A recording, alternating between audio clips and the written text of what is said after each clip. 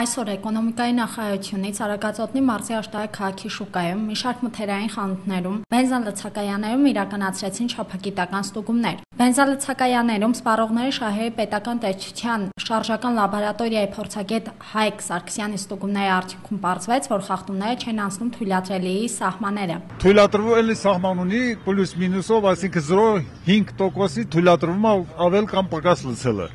Նորմայի մեջ է մտնում։ Հիմա մինուս 50 է, այսինքն 50 մլ 10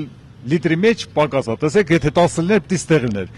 Այ 50 50 մլ ոլոսնի կդառնա 10, այսինքն 50 մլ պակաս է, բայց եթե վերցնենք օրենքով, դա մտնում է նորմայի մեջ։ Շեղում կա, բայց թույլատրելի սահմանի մեջ է։ Գրեթե նույն պատկերը արտացոլվեց մթերային խանութներում։ Այստեղ 1 կիլոգրամ մթերքի կշռաչափում գրանցվեցին 5-ից 10 գրամ թերացումներ։ Սակայն ինչպես բացատրեց տնտեսվարողը, առանց այս թերացումների անհնար է, որովհետև օրինակ 1 պարկ շաքարավազի մեջ լինում է 1-ից 2 կիլոգրամ թերացում։ Շուկայում մսավաճառ Սևակ Հարությունյանի խոսքերով իր աշխատանքի 13 տարիների ընթացքում բարբերաբար եղել են ստուգումներ։ Ինչպես նա հավաստիացրեց, նախորդ ստուգումների ժամանակ եւս կշռաչափի թերացումներ չեն եղել։ Օրենքը պահանջում է, որ կիրառես, եթե չկիրառես, փաստացի կկանգնես վարչական տուգանքի առաջ։ Պլոմբ կա քշերքի տակը, եթե պլոմբը բացվես, արդեն ինքը բնականաբար պիտի խախտվի։ Իսկ ինձ ինչ պետք է, ես գրամ տարբերություն։ Էկոնոմիկայի նախարարության շուկայի եւ սպառողների շահերի պաշտպանության պետական տեսչության պետ Աշոտ Ղազարյանը ամփոփեց ստուգումների արդյունքները։ Կարող եք կարծել, որ ես կգնահատեմ բավարար, բայց հակված չեմ նման ձևով գնահատելու։ Ես կարծում եմ, որ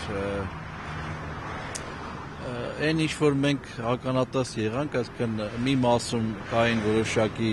թերակշռումներ կամ թերալցումներ եւ մի մասում չկար, սա չի նշանակում, որ ամեն ինչ լավ է եւ պայծառ։ Մինչև այսօր իրականացված ստուգումների արդյունքում առավելագույն խախտումները ըստ Աշոտ Ղազարյանի 1 կիլոգրամի մեջ եղել է 50-ից 150 գրամ։ Թե ինչու այսօրվա ստուգումներում այս թերացումներ չգրանցվեցին, նա պատասխանեց։ Մեզնից առաջ տեղեկացված են արդեն եղել